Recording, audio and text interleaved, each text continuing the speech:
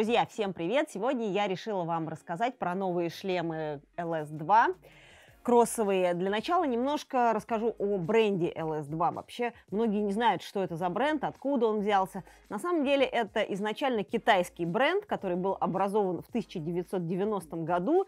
И эта фирма очень активно развивалась на китайском рынке, и они в кратчайшие сроки вышли в лидеры по объему продаж э, шлемов.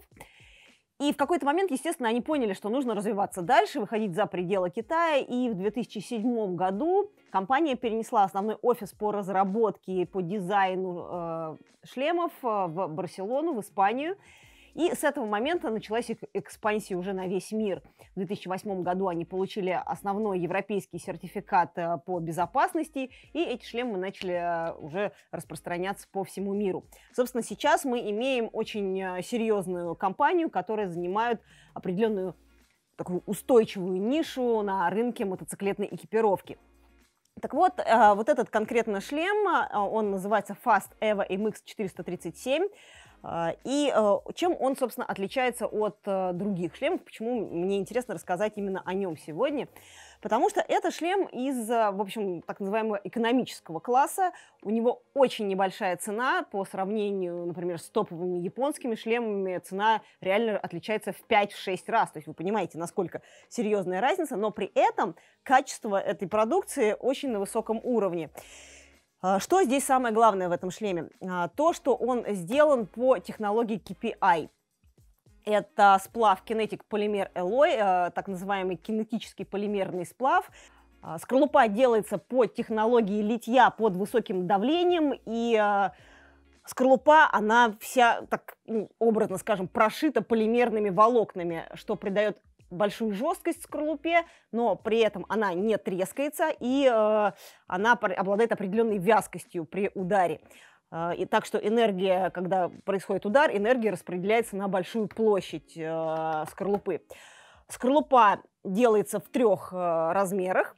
Э, вы можете подобрать себе шлем от вообще самого микроскопического 2XS э, до 3XL. Соответственно, это можно выбрать шлем на ребенка и на очень здорового огромного дядю. Также вот эта технология литья под давлением, она позволяет делать очень сложную конструкцию скорлупы. И благодаря этому, помимо того, что просто вот эти вот красивые формы, да, нас э, такие ребра, жесткости, все вот это вот можно сделать, э, также сделана здесь очень хорошо вентиляция. Этот шлем отличается очень хорошей вентиляцией. Три э, входа вентиляции э, входит воздух свежий и, соответственно, также выходит через вот эти вот выходные отверстия. Благодаря этому очень хорошо поступает свежий воздух, а, голова вентилируется, соответственно, пот тоже быстро-быстро высыхает, то есть у вас там не образуется так называемое болото, когда вы гоняете в, жаркий, в жаркую температуру. Это очень удобно, и для вообще я считаю, что для шлемов такого эконом-класса а, это, это очень крутая функция, то, что он хорошо вентилируется. Козырек э, на четырех болтах, что, кстати говоря, тоже такая ну, отличительная особенность этого шлема, потому что обычно э, все делают на трех болтах. Здесь это все гораздо так надежнее сделано. И, кстати говоря, в коробочке э, к шлему придаются запасные болтики на случай, если у вас один открутился, потерялся. Ну, их там несколько, то есть, в принципе, их все можно заменить. Козырьки тоже продаются отдельно, их без проблем можно купить, заменить с этим проблем нет. А, что еще интересного в этих шлемах? Ну, во-первых, то, что у них достаточно широкое здесь пространство, где лицо, и э, они э, практически со всеми основными брендами, которые выпускают э, мотоциклетные очки, они совместимы. Конечно, в идеальном варианте, когда вы подбираете шлем, все-таки взять очки, в которых вы привыкли ездить, которые вам подходят, и померить все это вместе. Но э, производитель уверяет, что вот практически все очки подходят идеально. Также, что здесь интересно, здесь, эм, если приглядеться, видно такой вот значок, э, написано «очки». Но это уже э, имеется в виду очки обыкновенные, с диоптриями. Некоторые люди, они не могут носить линзы, линзы, и они ездят в очках в обычных. И очень неудобно их всегда вставлять шлем, потому что здесь толстые подушки, начинают, начинает давить, душки начинают давить на виски. А, здесь в этом шлеме все это продумано, и как раз в месте, а, где, возможно, могут быть вот эти вот душки от очков, а, здесь поролон сделан максимально таким вот тоненьким, чтобы душки свободно могли входить туда в шлем. А, естественно, все внутри э, подкладка, она сделана из гипоаллергенной ткани, очень хорошо моется, все это синтетическое. Там, где прилегает к коже, очень мягенькая ткань. А, там, где э, вот снаружи, видите, да, вот обычно шлем здесь он и пачкается, его когда вы ставите на какие-то поверхности, он здесь может потере... Э, ну, обтереться и стереться или об. А здесь а, используются ткани более выносливые, в данном случае это кожзаменитель.